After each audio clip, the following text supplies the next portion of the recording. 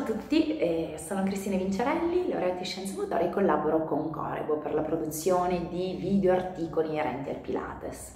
Eh, oggi ho, ho, cambiato, ho, cambiato, scena, eh, mi trovo nello studio dove lavoro, è ad Asti, da Studio Pilates.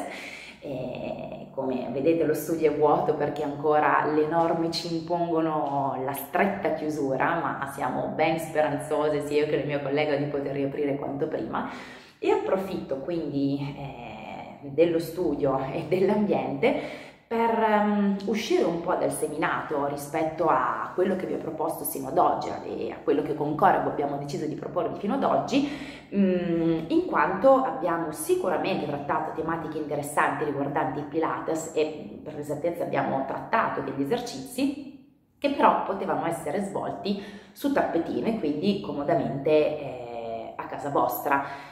È ovvio che quello che vedete alle mie spalle è il macchinario cardine eh, del Pilates che si chiama Reformer, non è uno strumento che tutti eh, potrete avere nei vostri alloggi per una serie di buoni motivi, in primo tra tutti la sua, la sua grandezza e le sue dimensioni, ma mh, mm, avevo comunque piacere di mostrarvi mh, mm, degli esercizi che non fanno proprio parte del classico repertorio del Reformer, ma dai quali possiamo prendere spunto perché abbineremo questo lavoro in posizione ortostatica, quindi in posizione in piedi, che possiamo fare con Reformer, abbineremo, come vi dicevo, degli esercizi che invece si possono tranquillamente condurre da casa, quindi parleremo di affondo, parleremo di affondo statico più trazioni e altri, altri movimenti che, che vedrete. Quindi eh, variamo, come vi dicevo, lo scenario e ci accomodiamo subito al reformer.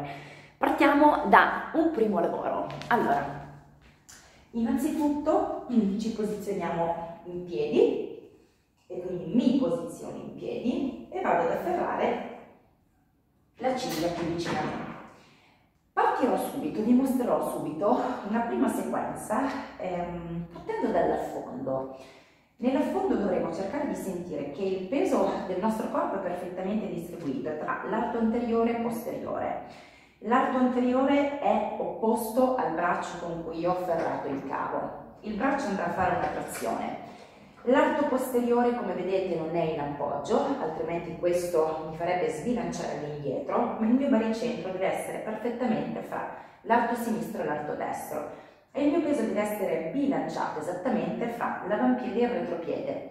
Il tallone destro sarà sollevato. Quindi iniziamo a fare un primo lavoro di trazione in un affondo statico. Il lavoro di trazione include che il mio braccio destro è esattamente in flessione, porti il mio gomito posteriormente, evitando l'anteposizione della spalla e come vi dicevo mantenendo in maniera equilibrata e bilanciata il peso sui miei due arti. A questo movimento di trazione potremmo aggiungere quindi un affondo dinamico, non rimango più statica, ma ogni volta che effettuo la mia trazione effettuo anche un piegamento sugli arti inferiori.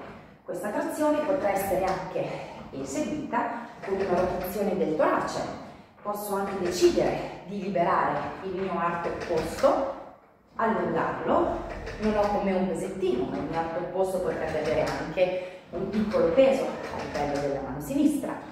Posso anche decidere, perché no, di lavorare in un atteggiamento monopodalico e quindi rimanere in appoggio soltanto sul mio piede sinistro mentre continuo ad effettuare la mia trazione.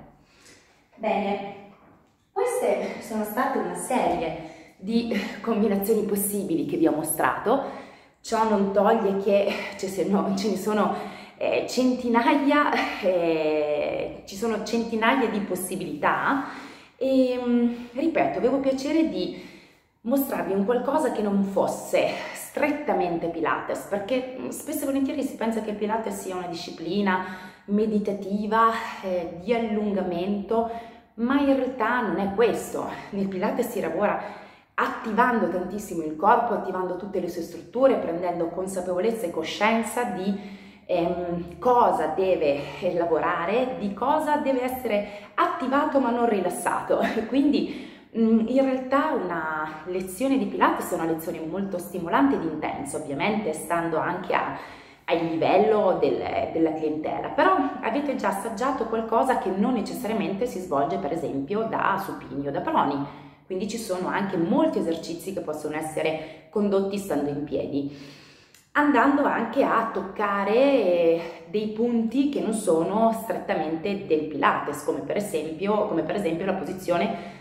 di cui parlavo ortostatica stando in piedi nell'affondo o in un affondo dinamico. Erano solo alcuni spunti, spero di eh, aver fatto cosa gradita. Come ogni volta mi raccomando non dimenticate di seguirci nel sito che è www.corebosport.com e sarà nostra premura tenervi aggiornati. Ciao a tutti!